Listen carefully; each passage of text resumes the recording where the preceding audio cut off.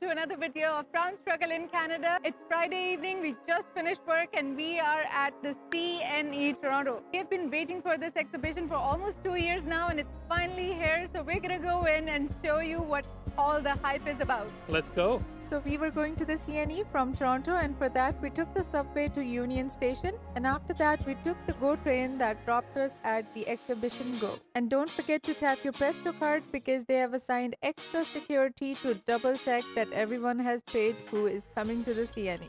We purchased our tickets in advance and since it was the opening day we got a discount and our tickets were only $13.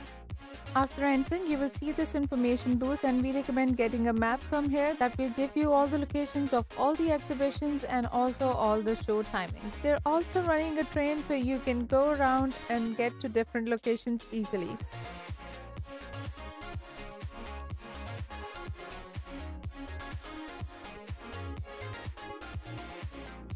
Apart from food vendors outside, they have one dedicated building just for the food stalls.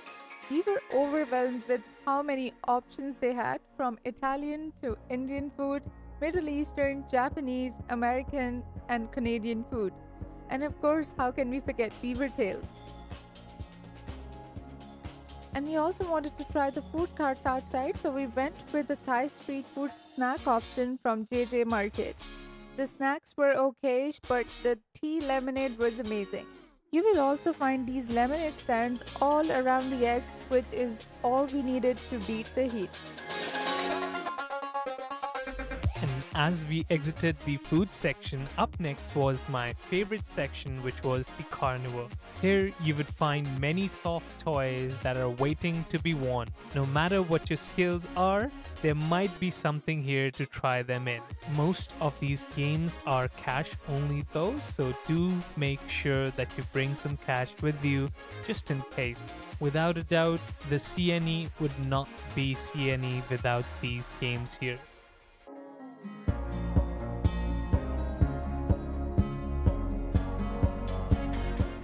Up next, let's talk about the rides at the CNE. The first ride that caught our attention was the Sky Ride, and you can see that we were not the only ones.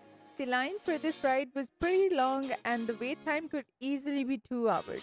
And we noticed that you can get on the Sky Ride from both ends and we were headed to the other side. So we decided to try our luck there, but that line was even busier.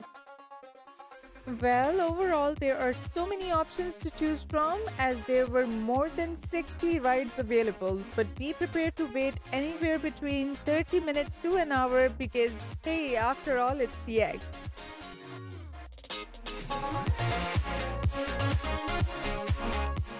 Up next, I would like to talk about some of the patios, bars, and live performances happening here. There are several areas set up for this, there is one area right in front of the Care Center where you can listen to a live band while enjoying a drink from the Glow Bar.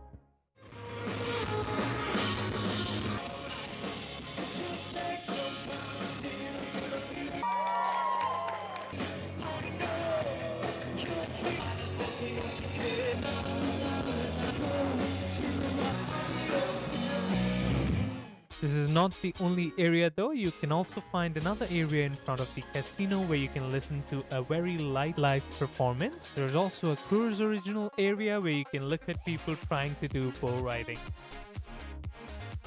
Hey, and how can we forget about all the carnival food? The roasted corn was delish and we also went to try the famous colossal onion. In our honest opinion, it wasn't that good and most of it was inedible but there were literally hundreds of options to choose from and some of the wacky ones too that you can only find at the Ex.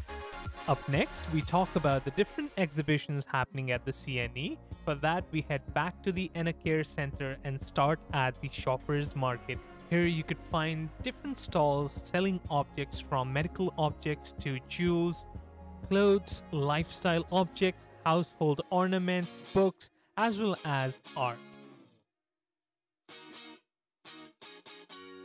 And how can we forget? You can also buy cheap mix and match makeup. Up next, the second exhibition, which was the Gaming Garage, was my favorite, obviously.